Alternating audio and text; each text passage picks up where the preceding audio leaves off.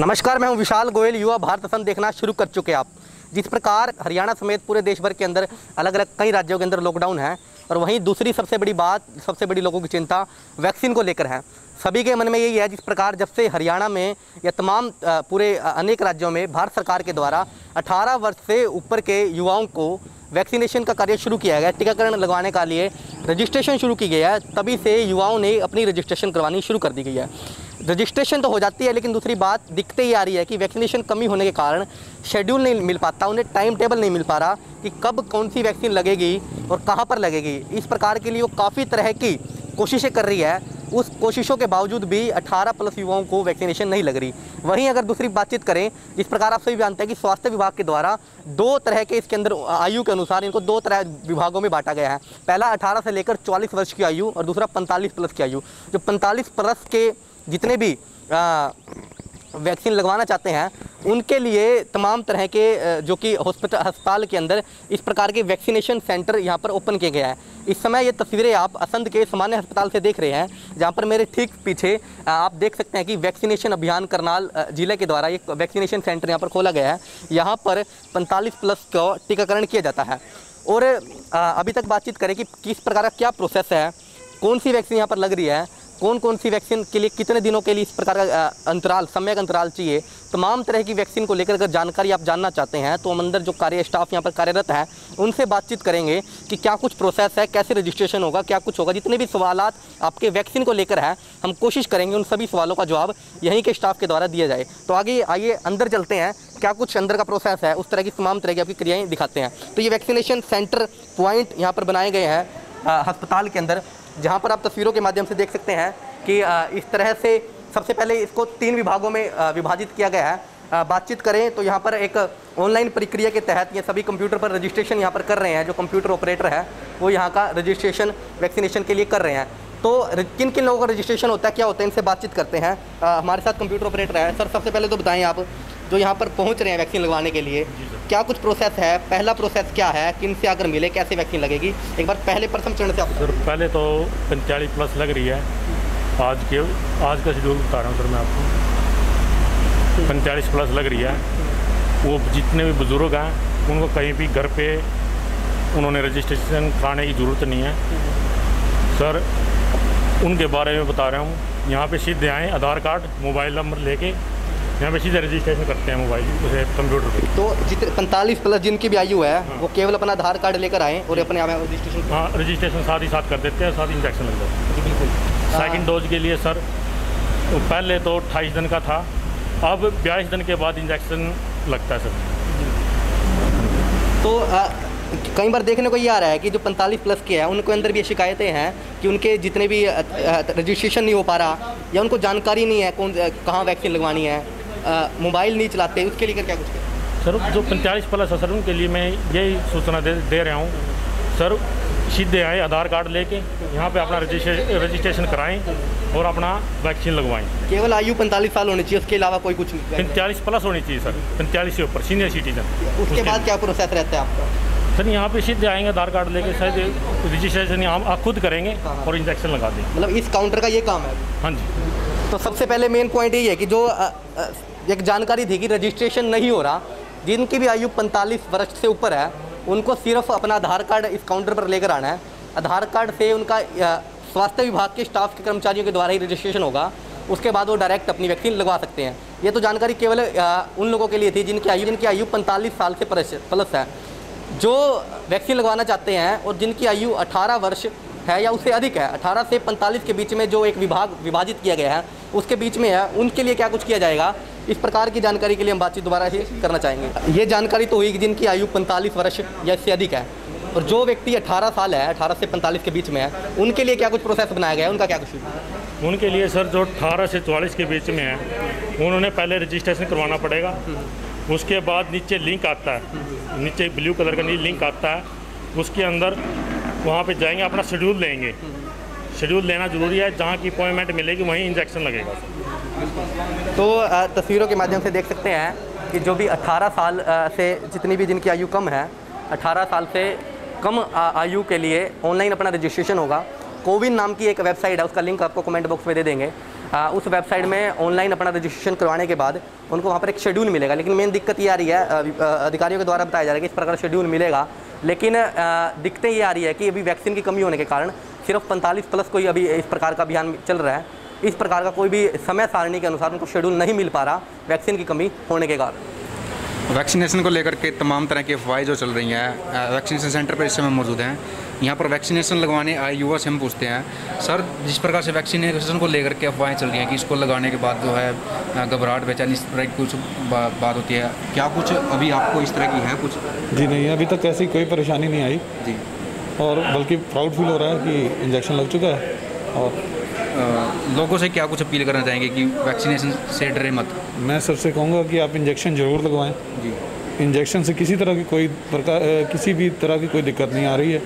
आप इंजेक्शन ज़रूर लगवाएँ। तो वैक्सीनेशन सेंटर पे इस समय मौजूद थे और जिस प्रकार से जो वैक्सीनेशन लगवाने वाले लोग हैं वो खुद कह रहे हैं कि, कि, कि किसी प्रकार से घबराएँ नहीं। आप वैक्सीन ज़रूर लगवाएँ। वैक्सीन लगवाएँगे तभी हम कोरोना से जीत सकेंगे।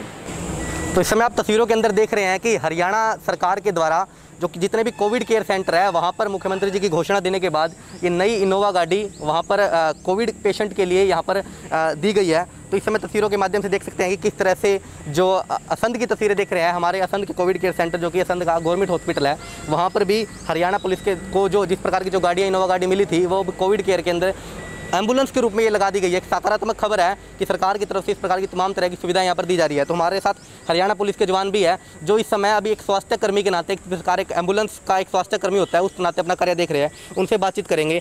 आपके विभाग को अभी हरियाणा पुलिस को नई गाड़ी मिली थी, उसको एंबुलेंस के अंदर रूप में परिवर्तित कर दिया है। स्वास्थ्य के लोगों के सेवाओं देने के लिए आप कार्य कर रहे हैं, इसको लेकर क्या कुछ कहेंगे? पब्लिक की सेवा में हमारे महकमे ने ये गाड़ियाँ लगा दी यहाँ पे जी। तो जो भी मरीज़ होता है, उसको जहाँ भी शिफ्ट करना होता है, हम जाते हैं गाड़ी लेके जी। जैसे आदेश मिलते हैं, गाड़ी लेके जाते हैं, उनको मरीजों को लाते हैं और लाके हॉस्पिटल में उनको छोड़ देते हैं।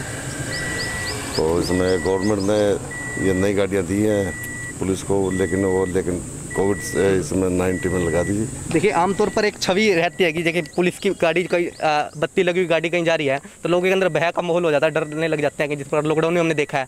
लेकिन आप जा रहे हो तो लोगों की रक्षा करने के लिए जा रहे हो किसी मरीज़ को लेने के लिए जा रहे हो तो इस करके आपको स्वयं को कैसा गर्व महसूस होता है इसको लेकर? बहुत अच्छा लगता है। जी हम पब्लिक की सेवा वैसे भी करते हैं अपने डिपार्टमेंट पे भी और इसमें इस समय में भी बहुत पब्लिक की सेवा कर रहे हैं तो अच्छा लग रहा है हमारे को। जी। बिल्कुल। तो ये तस्वीरों से देख रहे हैं कि जो अभी नई चमचमाती गाड़ी है, जो पुलिस विभाग को मिली थी, इसके अंदर तमाम तरह की सुविधाएँ जितनी भी है, उससे यहाँ पर लैस कर दिया गया। मैं आपको दिखाना भी चाहूँगा कि इस, ये देखिए तो यहाँ पर जो ड्राइवर की सीट है, उसके लिए एक अलग से यहाँ पर किट लगाई गई है और ताकि मरीज़ यहाँ पर सुरक्षित अस्पताल के अंदर आ सके। हाँ उस तरह की सुविधाएँ दी गई है। तो हमारे साथ इनसे ये भी जानना चाहेंगे कि ये किस प्रकार की सुविधाएँ दी जा रही है? क्या कुछ किसी तरह कोई चार्ज पैसे लिए जाते हैं इस प्रकार की निःशुल्क सेवा है नहीं सर कोई चार्ज नहीं है जी। जी जी। ये गवर्नमेंट की तरफ़ से हमारे महकमे की तरफ़ से। संपर्क किस प्रकार किया जाता है आपसे? ये डॉक्टरों के पास कॉल आती है जी। डॉक्टर फिर हमारे को कहते हैं हम जाके उन मरीजों के पास पहुँच जाते हैं जी। बिल्कुल। तो आप सभी के लिए एक सकारात्मक सूचना है। जिस प्रकार एक माहौल देखने को मिल रहा है कि एंबुलेंस के रेट ज़्यादा लिए जा रहे हैं, अधिक प्राइस लिए जा रहे हैं, उसी के चलते हरियाणा के अंदर भी तमाम तरह की सुविधाएँ, चाहे वो बसों की बातचीत करें या करनाल ज़िले के अंदर भी बातचीत करें, जो मिनी बस है, उनको एंबुलेंस के अंदर परिवर्तित कर दिया गया है और तमाम तरह की सुविधाएँ निःशुल्क दी जा रही है। बस कमी है तो कहीं ना कहीं हमारी जानकारी की भी कमी है। हमें कहाँ से कितना लाभ मिलेगा, उस प्रकार की हमें जानकारी नहीं हो पाती। तो यहाँ पर इस प्रकार की सुविधाएँ दी जा रही है। आप भी इसका लाभ ज़रूर प्राप्त करें। जिस प्रकार कोरोना महामारी से लड़ने के लिए तमाम विभाग और तमाम तरह की शक्तियाँ एकजुट होकर इस महामारी से लड़ रही है। उसी तरह हम अगर हरियाणा की बातचीत करें तो हरियाणा के हरियाणा राज्य परिवहन, हरियाणा रोडवेज़ रोडवेज़ करनाल के द्वारा भी जो एंबुलेंस बनाई गई है, वो एंबुलेंस, उस एंबुलेंस की सुविधा असंध के अंदर भी मिली है। तो ये तस्वीरें आप एंबुलेंस से देख रहे हैं अंदर की, जो ये असंध के, जो सामान्य अस्पताल है, कोविड सेंटर बनाया गया है, वहाँ के लिए एंबुलेंस की ये सुविधाएँ कोविड पेशेंट को दी गई है। एक बस को किस तरह से तुरंत प्रभाव से एक एंबुलेंस के अंदर यहाँ पर बदल दिया गया है और केवल कागजों में नहीं भाई, एंबुलेंस के अंदर बदला है, लेकिन धरातल पर इस प्रकार की सच्चाई है। इस पर यहाँ पर चार तरह के ये बेड यहाँ पर लगाए गए हैं और तमाम तरह की सुविधाओं के लिए ऑक्सीजन सिलेंडर यहाँ पर रखा जाए। इस सुविधाएँ के लिए जो भी सुविधाएँ हैं, चाहे फ़र्स्ट एड के लिए जितने भी सामग्री रहती है, ताकि फ़र्स्ट एड दिया जा सके। जो एक अमूमन सामान्य एंबुलेंस के अंदर सुविधाएँ होती है उस तरह की सुविधा के लिए यहाँ पर तैयार किया जा गया है।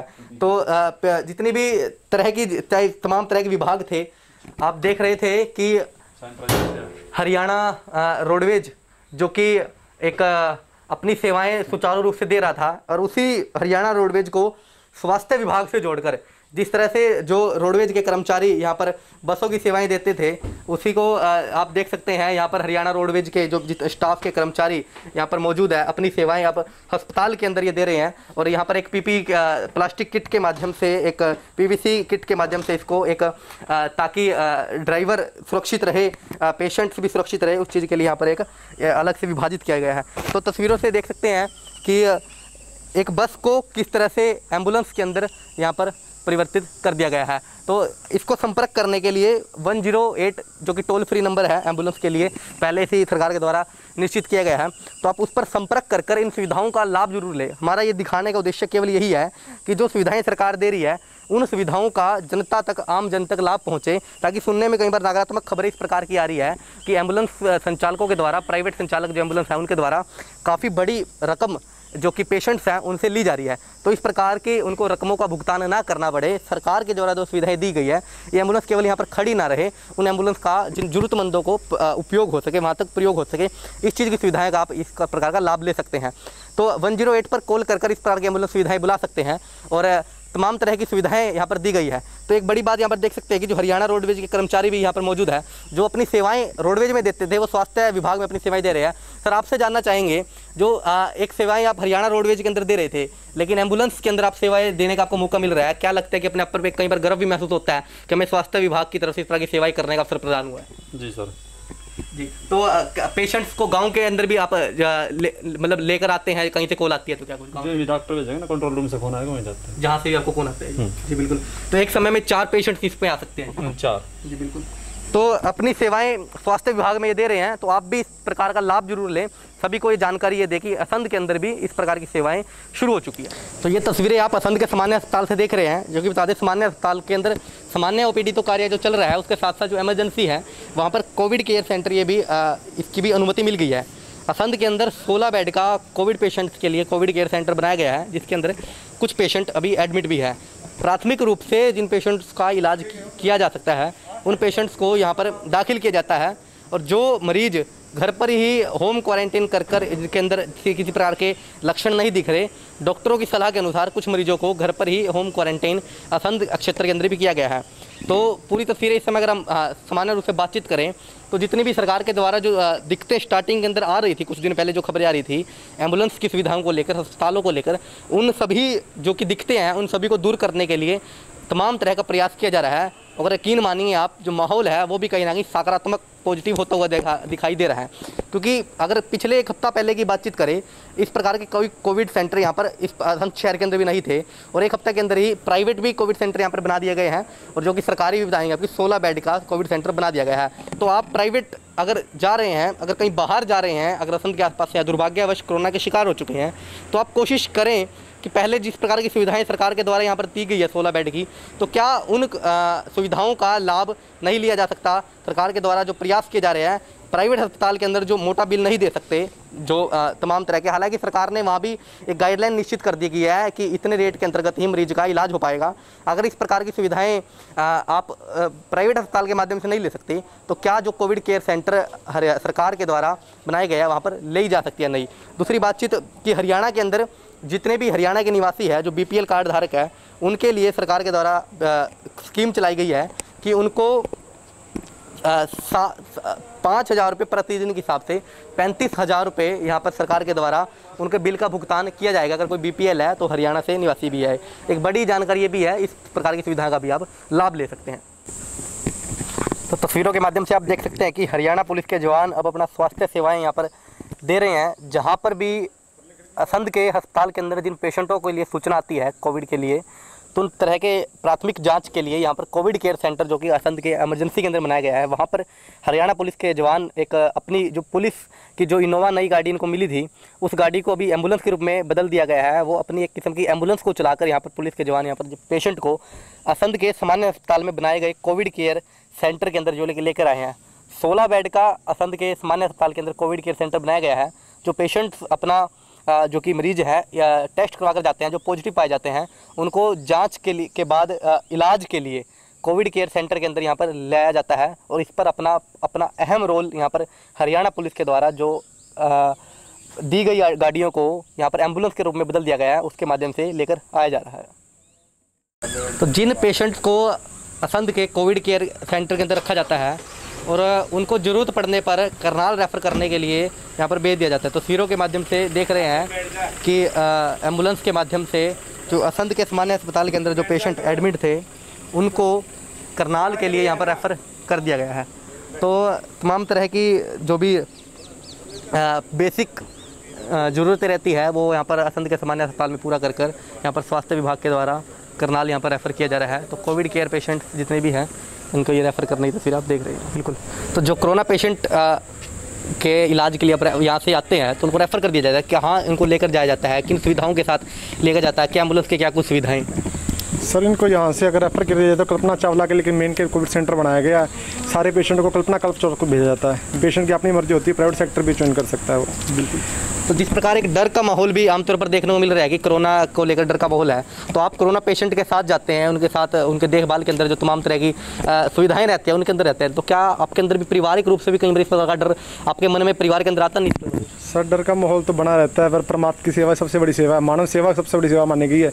घर में छः महीने का छोटा बच्चा भी है, लेकिन बच्चे को हफ़्ता हफ़्ता हो जाता है उठाए भी, ये सब कुछ परेशानियों का सामना करना पड़ता है, लेकिन मानव की सेवा को सबसे ऊँचा धर्म माना गया है, इसलिए सर दिन रात इसी सेवा में लगे रहते हैं। एक नेगेटिविटी का माहौल आमतौर पर देखने को मिल रहा है कि एंबुलेंस को लेकर भी नेगेटिविटी का माहौल प्राइवेट सेक्टर में भी आमतौर पर देखने को मिला है कि अधिक रेट यहाँ पर वसूले जा रहे हैं। हालाँकि सरकार के द्वारा एक निश्चित रेट लिस्ट भी तय कर दी गई है। उसके बाद इस प्रकार की एंबुलेंस सुविधाएँ दी जा रही है। क्या इस प्रकार की निःशुल्क सेवाएँ रहती है? इसके बारे में क्या कुछ कहेंगे? सर कोरोना या अलग हरियाणा सरकार के द्वारा कोई भी पेशेंट अगर सिविल से सिविल हॉस्पिटल जाता है या पूरी तरह से निःशुल्क सेवा जाती है पेशेंट से किसी भी तरह का कोई रूप से चार्ज नहीं लिया जाता ये सारी सुविधा फ्री दी जाती है सर जी। आ, लोगों के अंदर जिस प्रकार एक भय का माहौल है उसके लिए क्या कुछ अपील आप लोगों से करें? लोगों से यही अपील रहेगी संयम बनाए रखें घरों में ज़्यादा ना, ज़्यादा ना निकलें बाजारों सड़कों में ना भीड़ करें अपना मास्क और सैनिटाइजर का ज़्यादा ज़्यादा इस्तेमाल करें यही सबसे प्रार्थना है। हाथ जोड़ के विनती की जाती है भीड़ को इकट्ठा ना होने दें और अपने घरों से ज़्यादा ना निकलें। जी बिल्कुल। तो इस प्रकार की अपील यहाँ पर की गई है तो आमतौर पर हम हमारी तरफ़ से जो देखने को मिला कि जिस प्रकार के जो कर्मचारी है स्वास्थ्य विभाग के उनके और यहाँ पर कोविड केयर सेंटर तो बना दिए गए लेकिन प्राथमिक रूप से देखने को मिल रहा है कि ग्लव्स की सैनिटाइजर की इस प्रकार की कमी यहाँ पर स्वास्थ्य विभाग में आमतौर पर देखने को मिल रही है कि आवश्यकता अनुसार सैनिटाइजर की सुविधाएँ होनी चाहिए तमाम ग्लब्स ग्लव्स इत्यादि की सुविधाएँ तमाम तरह की सुविधाएँ स्वास्थ्य विभाग की तरफ़ से होनी चाहिए। लेकिन उस प्रकार की ओर कहाँ ना कहीं कम ध्यान दिया जा रहा है। इसकी ओर भी सरकार को ध्यान देना चाहिए। बहुत बहुत धन्यवाद। ये तमाम तरह की जानकारी आपको असंत की क्या स्थिति है असंत के सामान्य अस्पताल की और कोविड केयर सेंटर की क्या स्थिति है, उसके लिए हम हमने आज असंत के सामान्य अस्पताल पहुँचे थे और तमाम तरह की जानकारी आपको दिखाई। अनुराग शर्मा मेरे साथ मौजूद है। मैं विशाल गोयल वीडियो को शेयर कर लोगों तक जानकारी दे सकते हैं। बहुत बहुत धन्यवाद। जय हिंद, जय भारत।